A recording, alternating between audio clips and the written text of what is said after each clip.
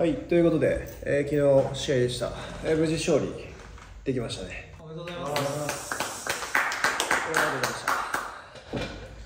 まあ最近はあの格闘技の練習のためにね、ちょっと YouTube とかもほとんど上げてなかったと思うんですけど、し格闘技関連かブレイキングダウン関連しかね、最近はずっと上げてないんで、まあちょっと YouTube 上でこう僕らのね、特にメンバーとか出なくなってるもんね。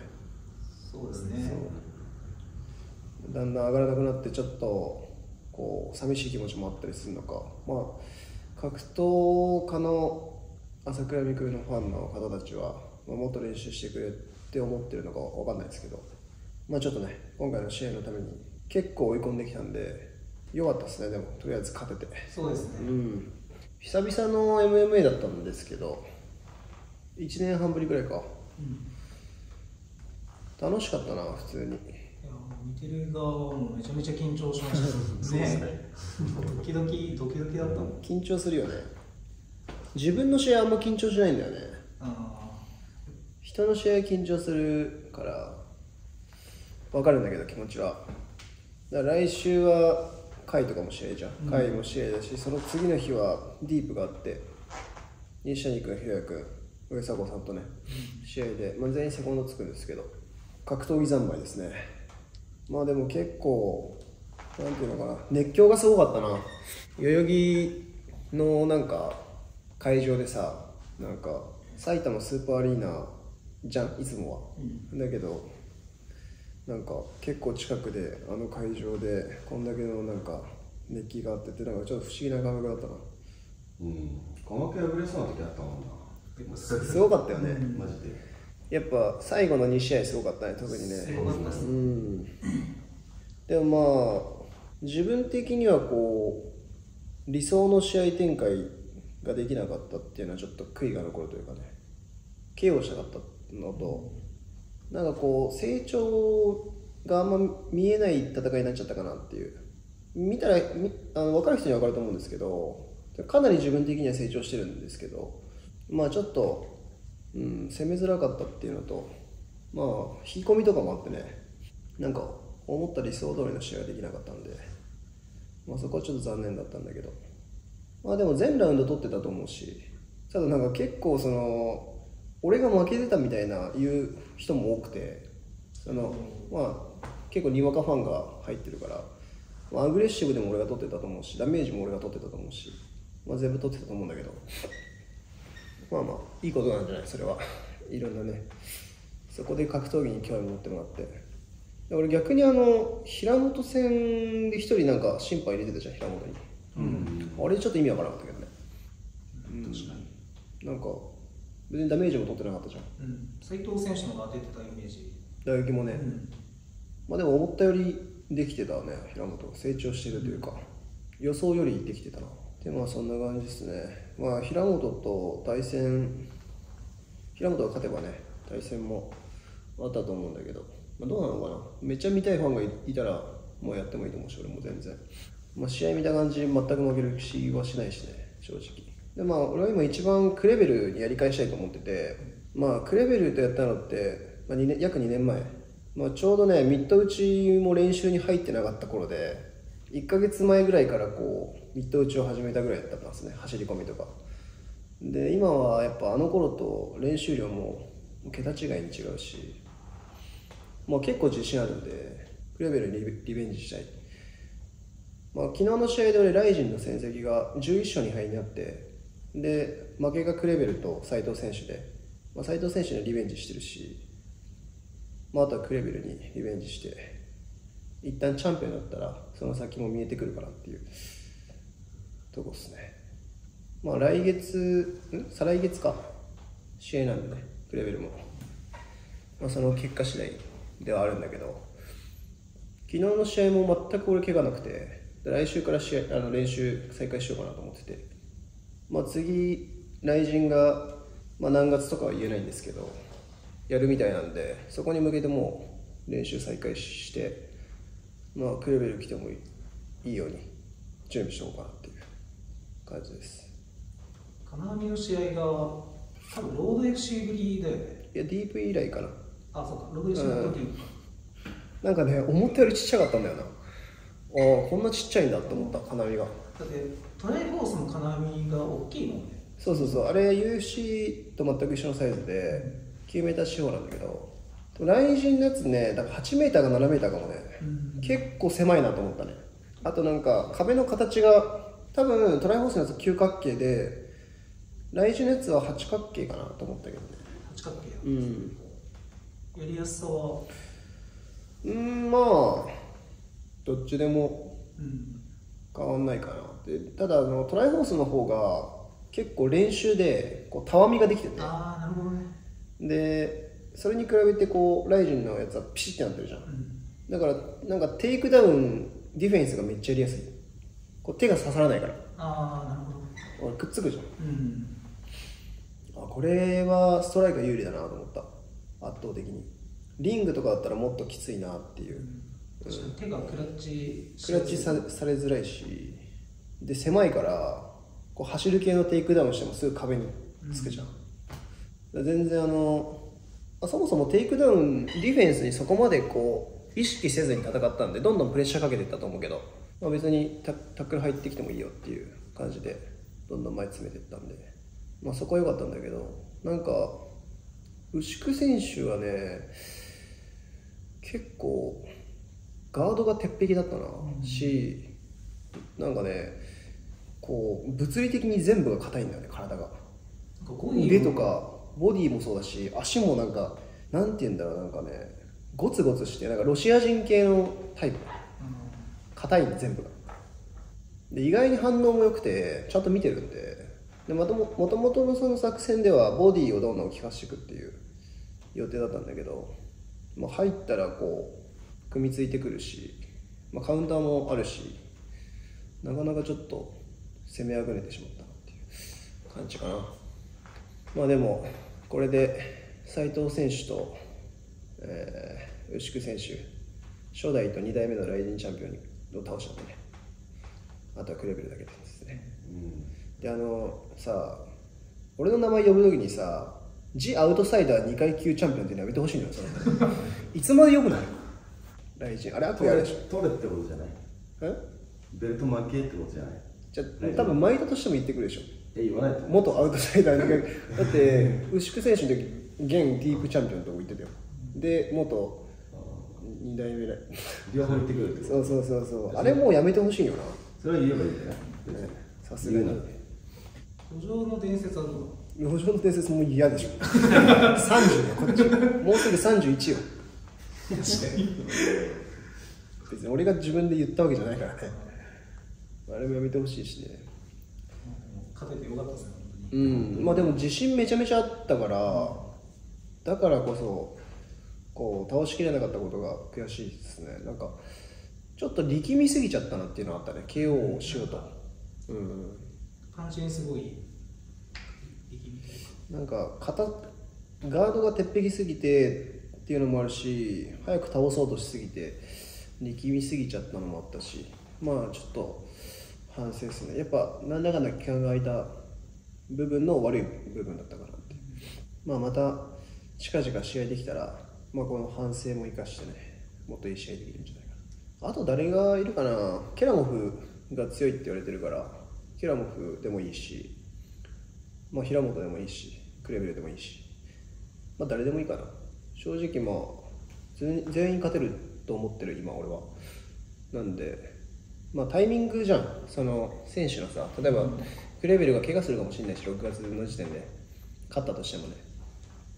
で平本とすごい見たいっていう声が多いんだったら平本に関してはなんか俺的にはこうなんていうのメリットがないっていうか実績も別に俺より低いからこう選手としては交代するわけじゃん。やる時点で。だからまあそこはなんかファイトマネーとかでね納得できれば全然やるし。ペーパービューとか一応売れると思うから、まあ、その分俺ももらえるんだったらやりますよっていう多分社長との話で。でまあクレベルとかだったらね、まあ、ファイトマネーどうこうよりも実績を取りに行きたいんで俺は。全然やりたいしっていう。どうかな。まあケラモフもなな 4, 4戦して 4, 4勝してんねあ違う斉藤選手に負けててその後3連勝だっけ？堀江君に勝ってるもんね。堀江君と拓磨の最近の敬語なんなんですかえ敬語の方が喋りやすい。サブちゃんでもさすごいコメント来ましたけど拓磨がなんで敬語になってるんですかっていう。確かに。でも敬語の方が喋りやすいですからね。うん。あそっかそっか視聴者さんも見てるし。キラモク誰とやってるんだっけ？中島選手と堀江君忘れてしまったな。まあでも強いよね。しっかりね。で金原さんがねひ平本とやりたいみたいなことも言ってましたけど。あ山本空選手。山本空選手中島選手堀江選手ってとこかもう全然そういう声が多ければ、まあ、金原選手の後でもいいしまあただ一番はクレベルって感じですね、って感じかな。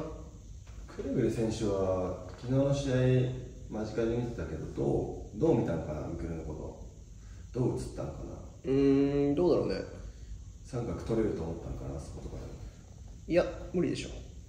あれは多分結構対応うまかったと思うよもう絶対 ES じゃないと思ったし狙ってるの分かってたから。うん。もう今日ああもうちょっと怖いなってなったのかな。うんまあそれは分からんでどっちにしても本人の口から聞かないと。でもまあ俺は勝てる気はしてる。全然。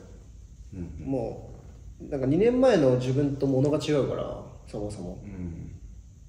だから結構引き込みの展開から立ち上がった時もう体力なくなってるのよ。クレベル戦だと俺。うんバテて打撃の展開も。でも今回全然キレもまた落ちなかったでしょ、全然いけるなっていう。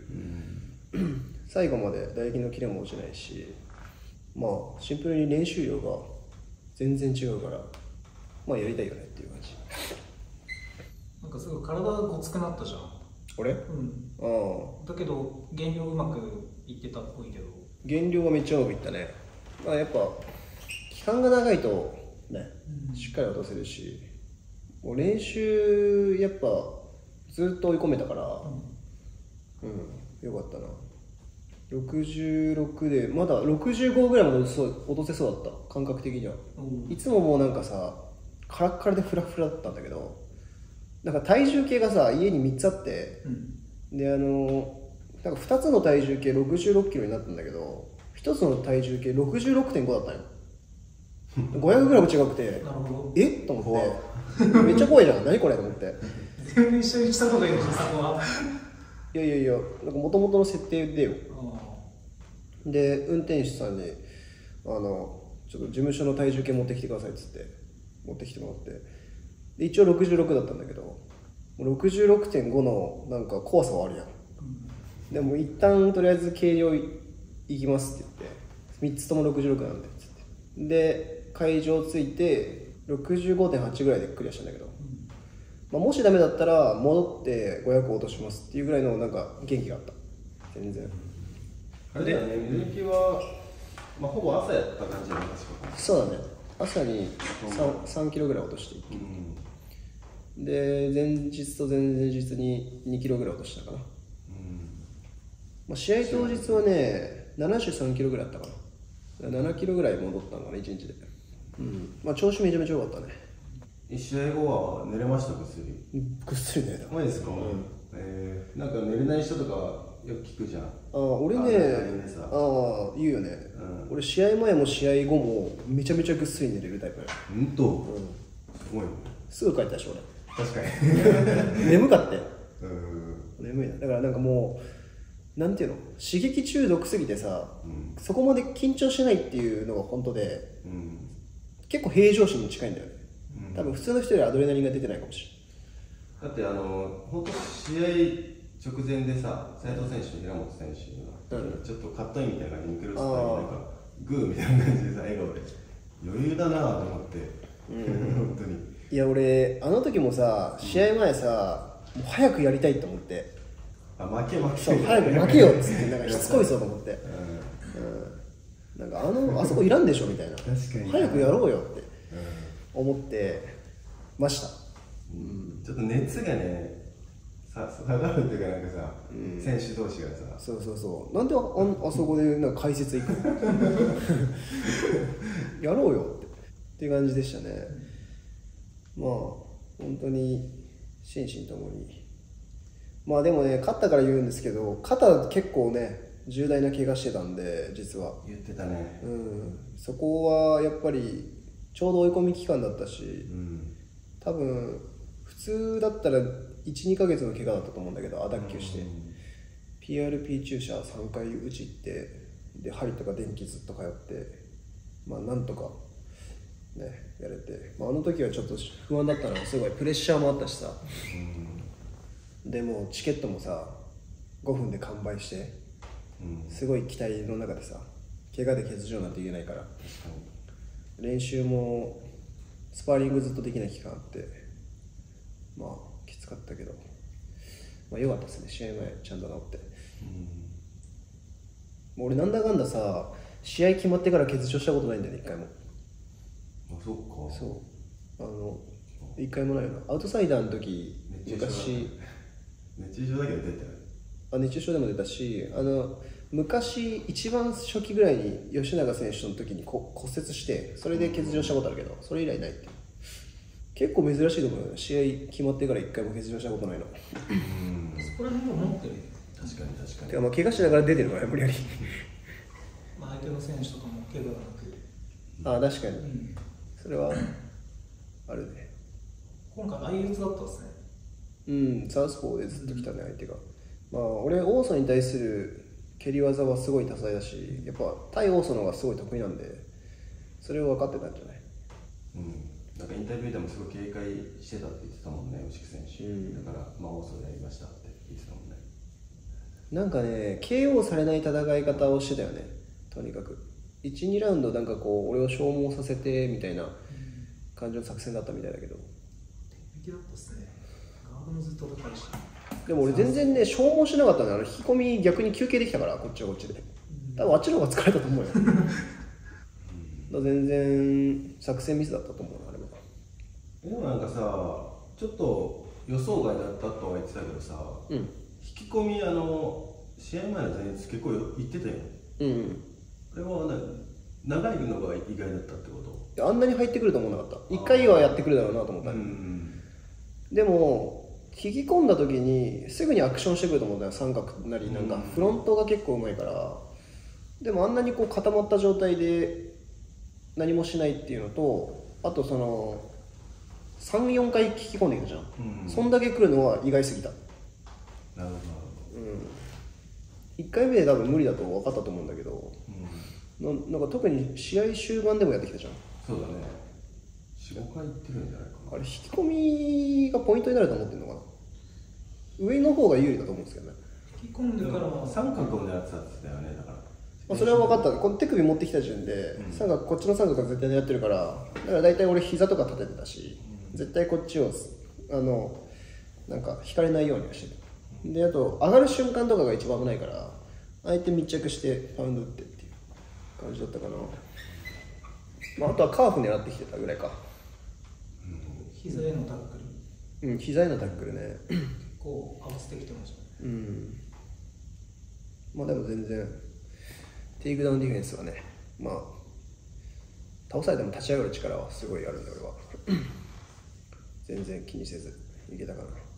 まあでもなんだかんだとにかく勝利が一番でかいんでね、よかったかな。怪我もなかったし本当に、うん。安心してますほっとしてます。ちょっとここだけ怪我したけど。青？怪我してるやん。まあでも全然痛くない。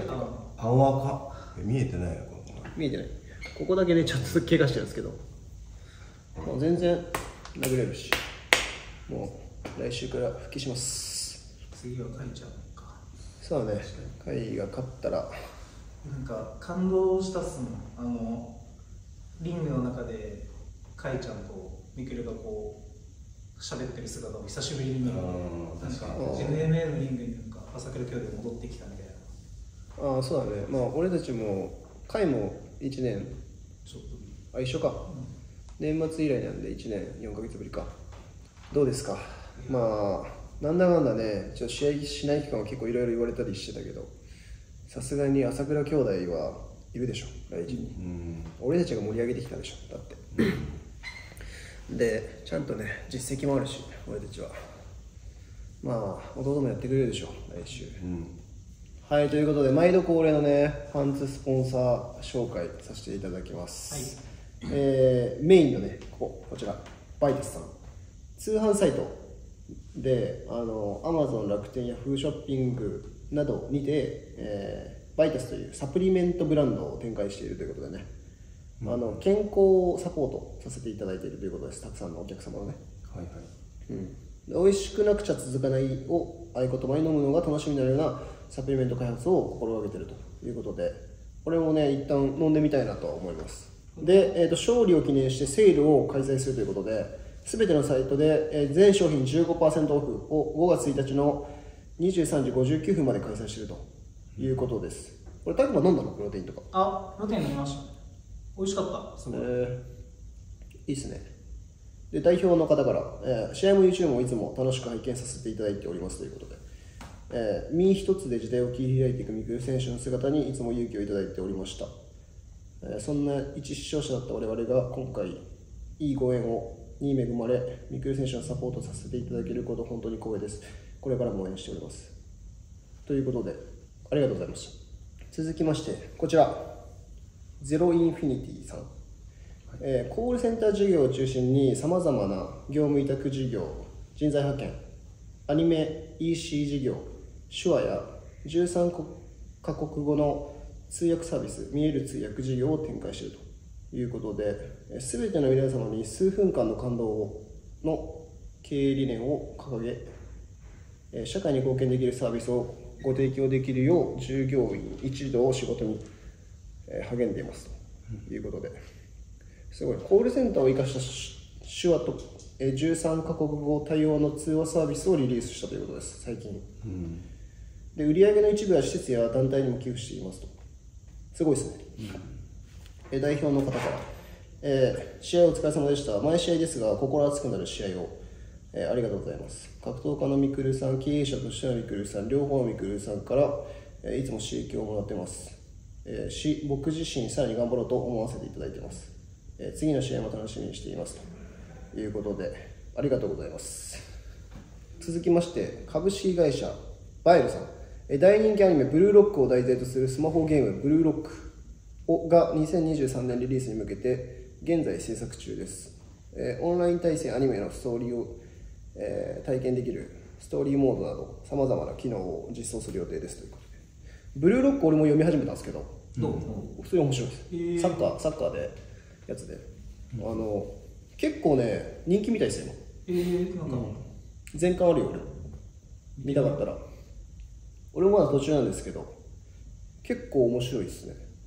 であのゴールデンウィーク期間中30名様にオリジナル Amazon ギフトカードが当たるキャンペーンを実施中ということなんで概要欄の方からね、えー、Twitter および公式サイトのフォローお願いしますということで、えー代表の方からまだまだ格闘家としての、えー、ミクレさんを見ていきたいです。これからも引き続き応援してますということで。ありがとうございます。続きまして株式会社ロイヤルさん。ルーザーはあなたのライフスタイルに革命をコンセプトにし固定概念をなくしもっと自由にこれまでにない暮らしを提供するブランド。ルーザーってあれですよね。あの事務所にあるそうあのローテーブルのね人をダメにするこテーブル。そうそう。ああ。充電器もついてるし冷蔵庫もついてるしっていうなんか凄まじいテーブルがあるんですけどそこを出してる会社ですね、えテーブルに Bluetooth スピーカーワイヤレス充電ポート USB ポット電源コンセントなどがついておりさらに冷蔵庫が備わ備わった、えー多機能なスマートテーブル。もうこれにトイレがついてたらもう動かなくなりますよっていうレベルの 本当に最高のテーブルです。代表の方からメッセージ、えー試合お疲れ様でした。2021年の、えー大晦日以来の MMA の試合ということもあり多くの方が非常に楽しみにしていたのではないかと思います。常にさまざまなことへの挑戦と、えーそして進化を続けていく朝倉選手に刺激をいただきながら我々も商品開発に精進してまいりますということです。ありがとうございます。続きまして株式会社澤さん。えーこちらの澤さんはね、ブレイキングダウンもいつもスポンサーしてくれくださってるんで、まあ、結構おなじみの方も多いんじゃないかなと思います。えーここの会社は半導体製造装置の部品加工メーカーということで、えー宮城県に新工場を今年、えー建設しますので一緒に働いていただけるあ新たな仲間を募集してますということです。半導体ってすごいよね。なんかあの輸輸出系だと結構上位なんじゃなかったっけ？車とか半導体って。その海外に対しての輸出。どうかな日本からの輸出はそんなないかもしれない。なんか素材とか。あそんなないっけ？なんか俺ね結構輸出について最近興味があってなんか国外外貨をこう入れてった方が日本って豊かになっていくはずじゃん、で調べた時なんか半導体って入ってたような気がするんだよね。ただ半導体を作る技術はものすごい日本は。ああだよね。素材とかは。えー代表の方から、えーメッセージ。試合お疲れ様でした、えー弊社は2021年からスポンサーのご協力をさせていただいてますが昨年からブレイキングダウンの、えー天狗大会のスポンサー機会もいただき感謝しております。ものづくりの会社というのは地味なイメージがありますがおかげさまで業界内では製造業の活性化につながっているという、えー高評価をいただいております。今後ともよろしくお願いします。ありがとうございます。はい、そして裏面です。こちらですね、新日本 NX。私たちは太陽光発電、蓄電池システム、V2H などの販売設置を行う会社で、え再生可能エネルギーを用いて、え未来の子どもたちが安心して過ごせる社会を目指しています。おほう。